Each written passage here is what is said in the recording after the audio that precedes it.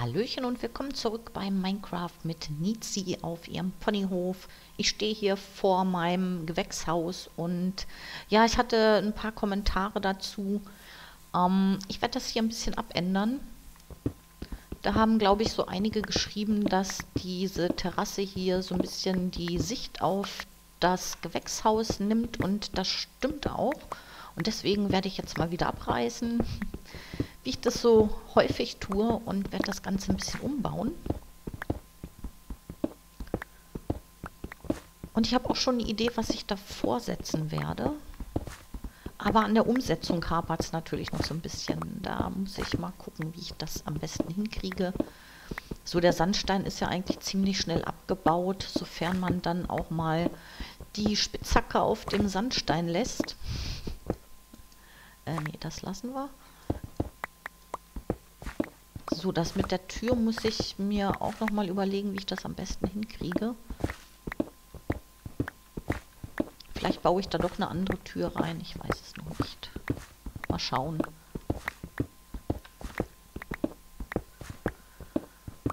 So, ich ähm, will mich auch noch so ein bisschen mit dem Rustic Pack äh, beschäftigen. Da hatte mich die Bonnie mal gefragt, ob ich ähm, auch ähm, ein Fachwerkhaus bauen könnte, und zwar mit den Architekturblöcken.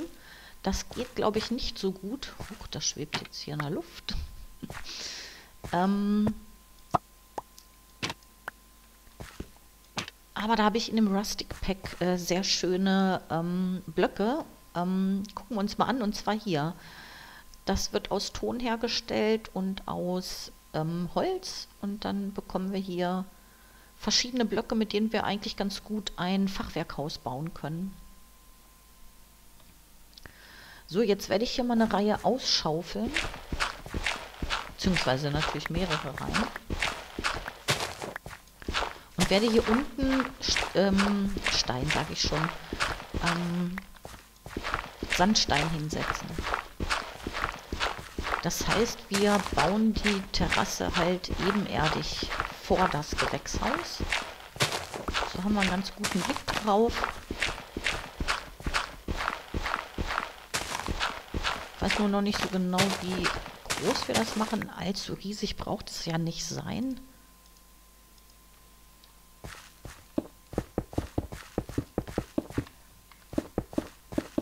Mal schauen, wie das so wirkt.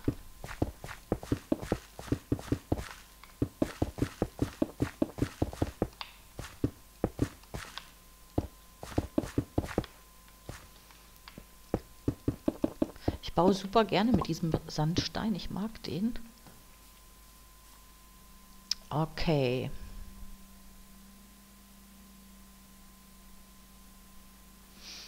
Wir könnten das so machen, dass wir hier vielleicht noch so eine kleine Reihe lang ziehen.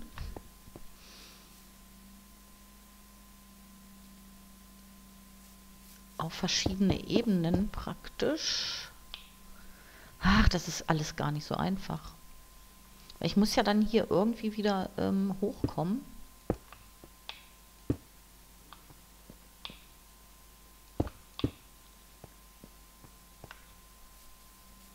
Also so hat man auf jeden Fall einen Blick darauf. Das gefällt mir ganz gut. Jetzt bin ich gerade im Überlegen. Ich könnte da ja einfach einen Block hinten hinsetzen.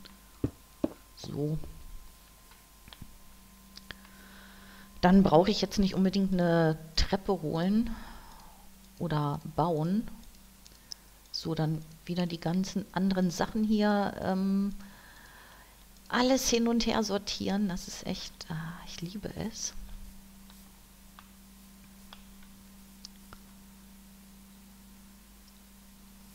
Ich denke, ich würde dann direkt hier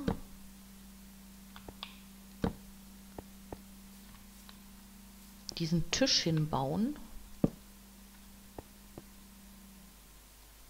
So, dann brauche ich jetzt mal den Glasrahmen. So, kommt die Schaufel wieder hin. So. Dann hatten wir, glaube ich, einen Blumentopf hier drauf stehen.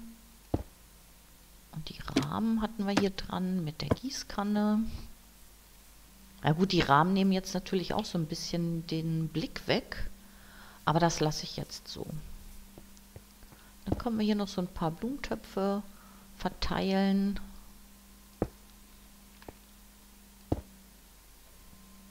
Und die Pflanzen natürlich. Hier ist auch noch ein Topf.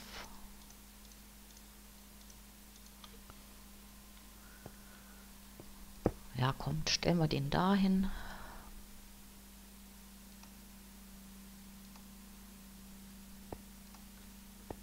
So, da können wir noch ein bisschen mehr hinbasteln. Das äh, muss ja jetzt nicht so bleiben. So, ja, jetzt die ähm, Druckplatten noch. Na, schon ganz gut bewachsen hier. Das gefällt mir ganz gut. Ich bin mir auch nicht sicher, ob wir hier mal Licht brauchen. Habe ich äh, mir überhaupt noch gar keine Gedanken drüber gemacht.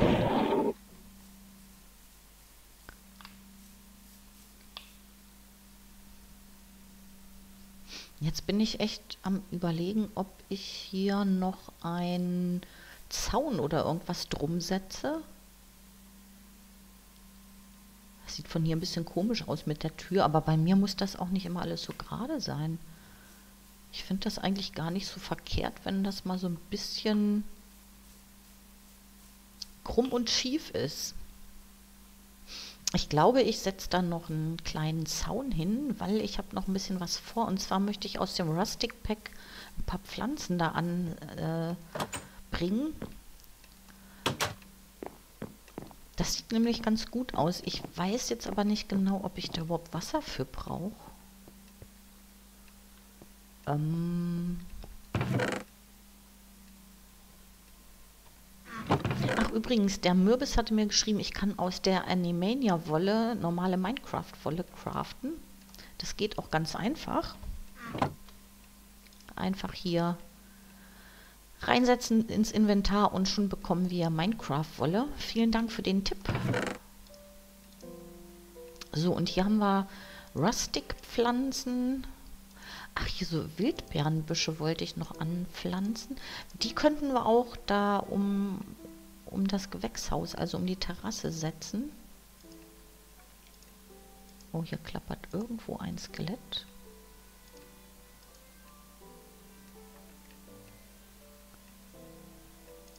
Ich glaube, die werden einfach nur ins Beet gesetzt. Mann, das ist schon so lange her, dass ich das gemacht habe. Ich hätte gerne noch Moment mal, das sind Eisenbeeren und das sind Oliven. Jetzt muss ich mal kurz schauen. Ich brauche so Holzpflöcke eventuell. Dafür brauche ich natürlich wieder Holz. Moment mal, haben wir nicht noch Holz? Bestimmt jede Menge. Jo.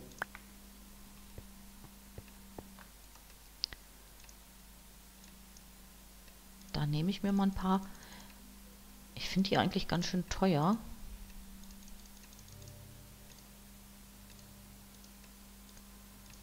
So, sollte reichen. Eine Hacke brauche ich, glaube ich, nicht. Ich muss echt direkt mal gucken. Wie gesagt, das muss ich jetzt erstmal ausprobieren. Ähm, wir müssen aber gleich schlafen gehen. Habe ich hier eine Hacke drin? Nee, ich glaube nicht. Nein. Spitzhacken. Ich hatte mir übrigens ein Schwert hier rausgenommen, weil meins fast, fast kaputt war. Das habe ich dann repariert so, jetzt denke ich, gehe ich erstmal schlafen, dann machen wir morgen früh weiter und basteln uns mal ein paar Beete.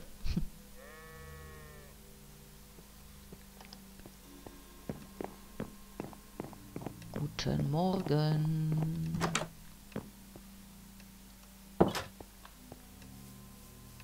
Ich glaube, diese Wildbeerenbüsche vermehren sich auch, bin mir jetzt aber nicht ganz sicher. Das müsste ich mal austesten.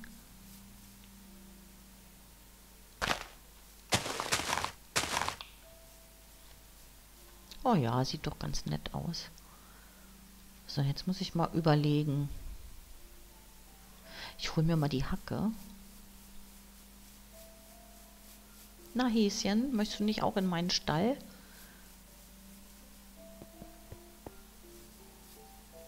Hier war, glaube ich, auch eine drin. Genau, dann nehmen wir die erstmal.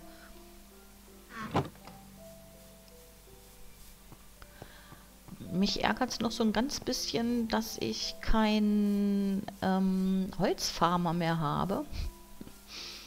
Aber okay, ich sagte ja, man kann nicht alles haben. So, dann könnten wir hier vielleicht anfangen mit den Beeten. Wie gesagt, ich muss erstmal ausprobieren,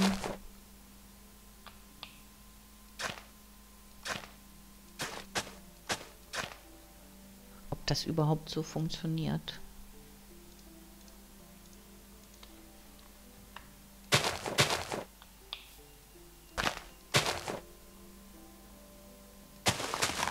So, Kamille, Schachtelhalm, Winddistel, Aloe Vera. Die haben wir. So, Ginsengwurzeln können wir noch anpflanzen.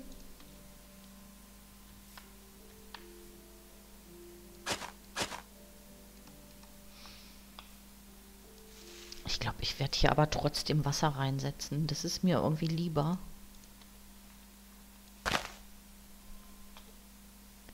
Eine unendliche Wasserquelle wäre ja eigentlich auch gar nicht so doof hier in der Nähe, obwohl wir haben ja da im We Gewächshaus auch Wasser.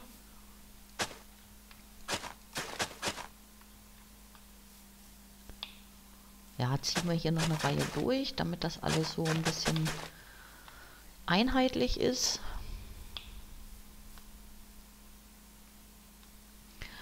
Dann kann man hier diese Stämme hinsetzen. Oh, die sehen übrigens auch echt gut aus. Und jetzt habe ich was vergessen. Das war schlau.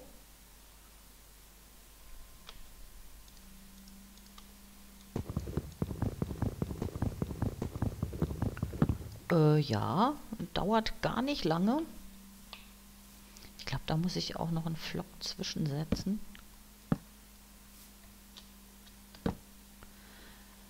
Nee, das geht nicht. Das muss ich anders machen.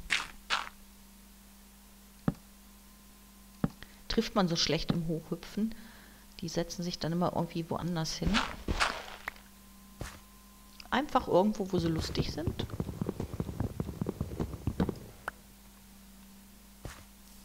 So, jetzt muss ich nochmal, im Moment mal eine Werkbank.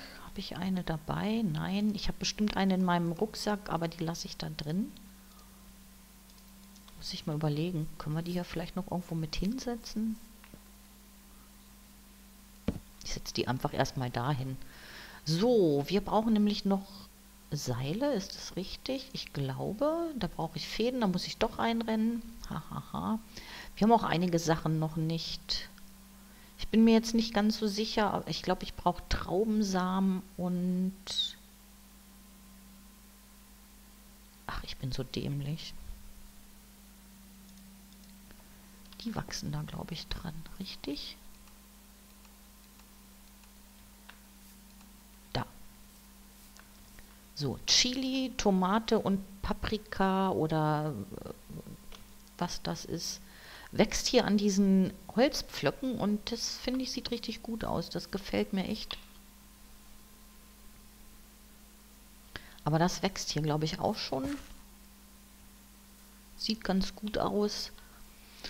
Dann heißt es, wir müssten noch mal ein paar ähm, Rustic-Pflanzen irgendwo suchen oder finden. Werden wir früher oder später, denke ich, sowieso drauf stoßen. Und dann bauen wir da noch ein bisschen was aus. So ein Apfelbäumchen hätte ich auch ganz gerne. Die gefallen mir ganz gut. Da wachsen auch ziemlich gut Äpfel dran.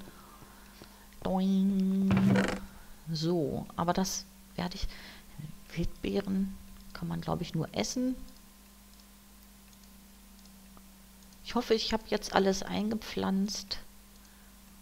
Ähm, die Eisenbeeren und die Oliven kann man nicht einpflanzen, soweit ich weiß. Die braucht man dann für andere Dinge. So, aber ein Seil können wir trotzdem schon mal herstellen. Zwölf Stück. Okay, läuft. Ich glaube, da kann man sogar dran hochklettern. Geht das hier an, an die Decke? Das probiere ich jetzt gleich mal aus.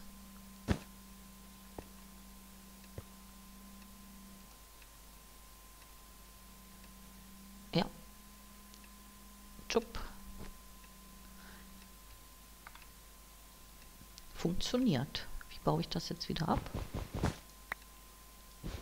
Ich schätze einfach nur mit der Hand. Also das kann man auch zum Klettern benutzen.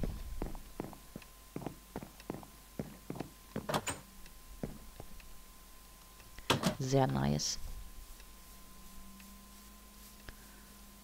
So, und die Seile, die kann man jetzt zwischen die Holzpflöcke spannen.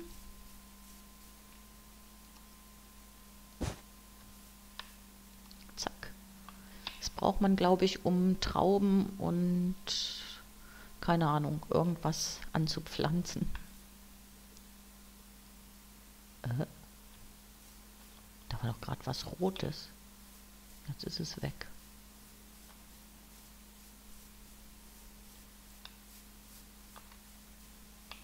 Komische Sache, komische Sache. Es sieht ja auch so ein bisschen kahl aus. Der Rasen ist so immer frisch gemäht. Ich bin so fleißig. Vielleicht sollte ich die ähm, Baumflöcke später lieber hier lang ziehen, damit man dann hier doch noch einen besseren Blick drauf hat auf das Gewächshaus. Ich hoffe, euch gefällt das ein bisschen. Jetzt würde ich gerne hier noch irgendwo eine Truhe unterbringen. Die könnte ich doch wieder hier drunter setzen. Das ist eine coole Idee.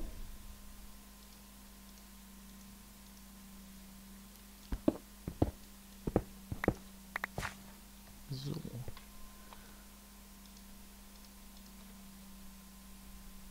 Ich habe, glaube ich, drin noch Truhen, aber das ist mir wurscht. Ich baue jetzt einfach mal neue. Mache ich gleich zwei? Ja, ich denke.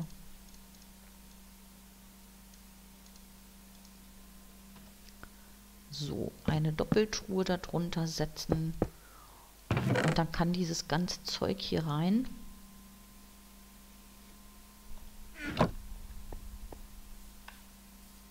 Doch, gefällt mir.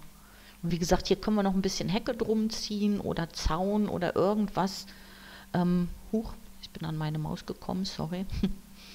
Vielleicht habt ihr einen Tipp für mich, was ihr vorschlagen würdet, da hinzusetzen. Wow, es hängt wie Sau.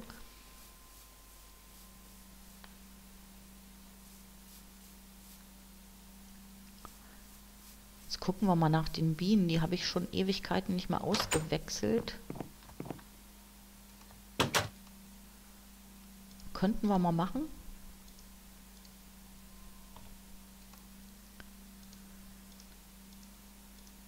bin mir auch nicht sicher, ob man das automatisieren kann, aber ich glaube schon. Ich meine, ich hätte das mal gemacht. Allerdings weiß ich nicht, ob das mit den Mods geht, die ich ähm, im Moment hier drauf habe. Also so, dass immer die Königin wieder hier reingeleitet wird. Achso, ich habe gar nicht geguckt, was habe ich denn hier für Honig und so. Da habe ich acht Stück, acht Stück, 15 Stück und auch Pollen habe ich bekommen. Und ich wollte mich eigentlich hier mal beschäftigen. Hier sind auch schon ähm, Blätter mutiert zu irgendwelchen anderen ähm, Pflanzen. Wenn ich Glück habe, kommt da was Schönes raus. Wenn nicht, dann eben halt nicht. Glaube, ich muss mir doch noch so eine Brille bauen. Dann kann man die Blätter besser erkennen. Aber im Moment geht es noch so. Ja, also das muss ich noch ein bisschen ausbauen. Das ist noch nicht ganz fertig und der Hasenstall war eigentlich auch noch nicht ganz fertig. Ähm, da müsste ich vielleicht auch noch mal ein bisschen Licht reinsetzen. Denke, das ist arg dunkel hier drin.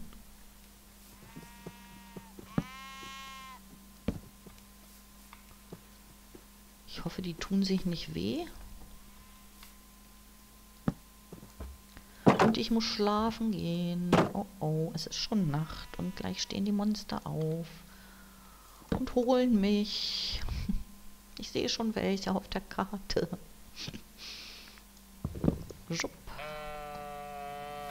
So ist das, wenn man hier rumtrödelt.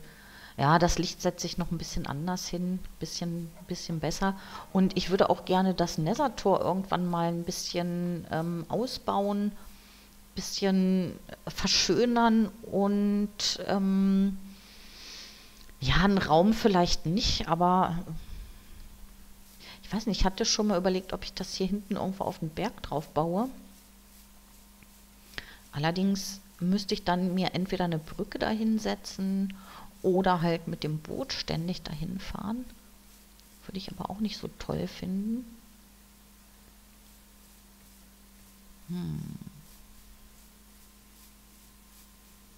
Ich fände das ja hier drüben bestimmt total schön. Ein bisschen den Berg abflachen da hinten, aber das ist natürlich wieder jede Menge Arbeit. Oder, oh ja, das Nether-Portal in den Berg einbauen. Das könnte man machen. Ich glaube, das äh, werde ich irgendwann mal tun. Natürlich nicht in der nächsten und übernächsten Folge. Hier komme ich, glaube ich, nicht mehr rein. Hier habe ich die Druckplatten weggenommen. Beziehungsweise sind die weg, weil ja der Mod nicht mehr drauf ist. Ähm, und normale Druckplatten möchte ich da eigentlich nicht reinbauen.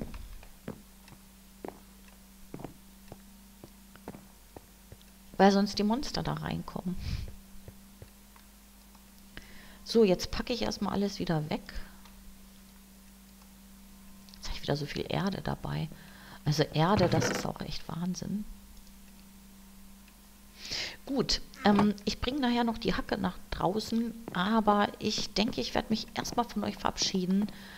Ähm, hoffe, ihr seid nächstes Mal wieder dabei. Bis dahin, bye bye, eure Nizi.